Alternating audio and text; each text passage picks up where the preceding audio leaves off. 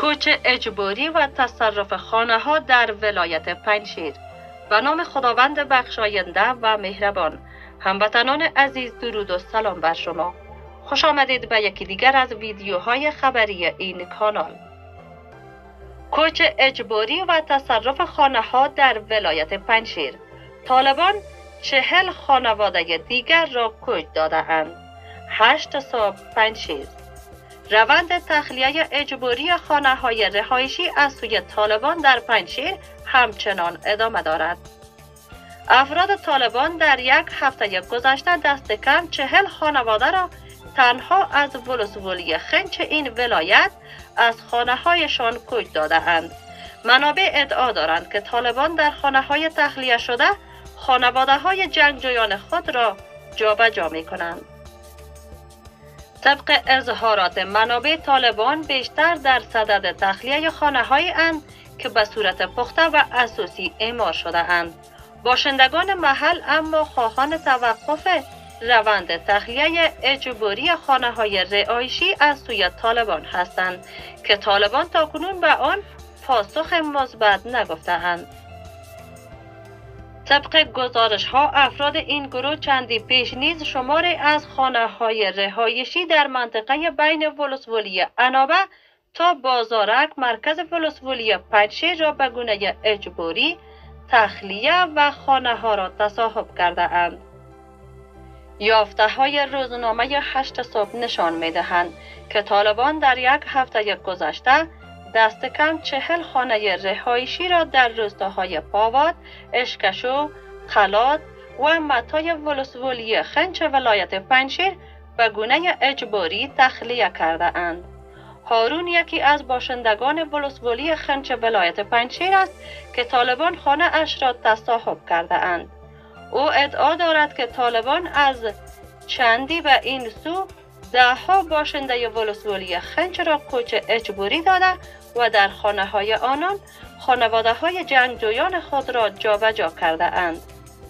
هارون می افزاید طالبان جستجو می کنند و هر فردی که دو خانه یکی در پنجشیر و یکی در جای دیگری به ویژه کابل داشته باشند را کوچ اجباری می دهند و در منازلشان خانواده های جنگجویان خود را جابجا جا می کنند و گفته هارون طالبان به گسترش فقر و هوای سرد زمستان توجه ندارند و همه روزه باشندگان محل را در بخش های مختلف پنشیر مجبور به کوچ اجبوری می کنند.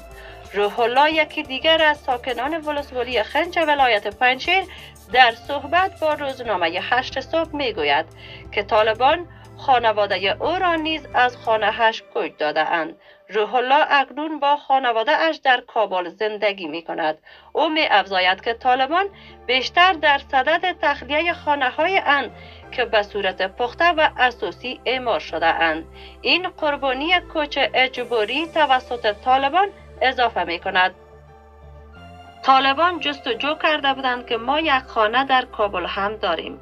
باز برای ما هفته گذشته سی روز مهلت تعیین کردند تا خانه پنجشیرمان را تخلیه کنیم.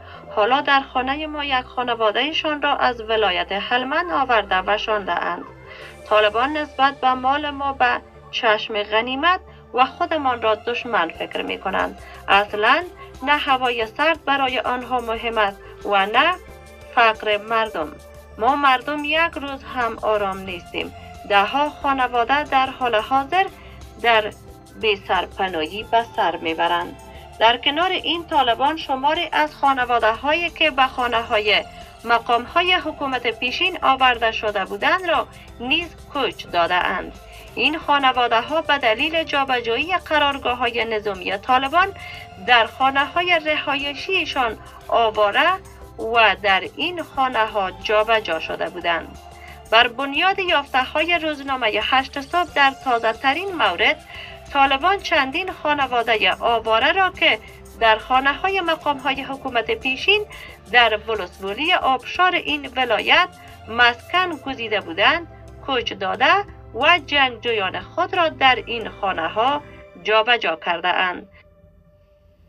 بر اساس این گزارش طالبان خانه های جنرال رجب، دگروال عبدالغنی، دگروال داوود، شکرالله افسر ریاست امنیت ملی حکومت پیشین جان محمد محمد خان و کبیر خان را که آوارگان زندگی می کردند به گونه اجباری تخلیه کرده اند.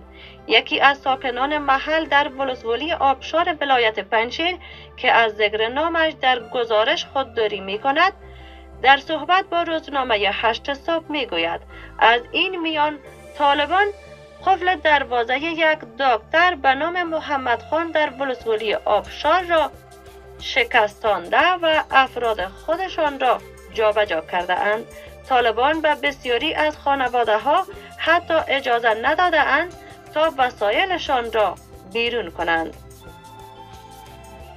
چندی پیش نیز طالبان به شماری از باشندگان انابت تا مرکز پنشیر دستور داده اند تا خانه های خود را تخلیه و منطقه را ترک کنند. هرچند طالبان تا کنون به گونه رسمی دلیل این کوچاندن ها را اعلام نکرده اند اما باشندگان محل جنگجویان طالبان را به غصب خانه های خود متهم می سازند. به گفته منابع طالبان و باشندگان محل تذکر داده اند که همه مردم پنشیر در نظام جمهوریت وظیفه داشتند و جایدادهایشان نیز مربوط به حکومت این گروه است. باشندگان محل اما اقدام طالبان مبنی بر کوچ اجبوری یک گروه خاص قومی از خانه هایشان را غیر انسانی توصیف می کنند و هشدار می دهند که ادامه این روند به گسترش دامنه تعصب منجر خواهد شد. با تشکر که تا آخر این ویدیو با ما همراه بودید. تا ویدیوهای دیگر الله یارو نگهدارتان.